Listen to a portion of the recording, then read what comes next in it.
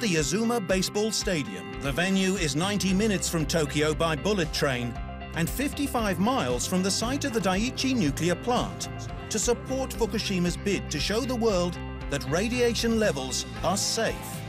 The region was also chosen as the starting point for the Tokyo 2020 Torch Relay.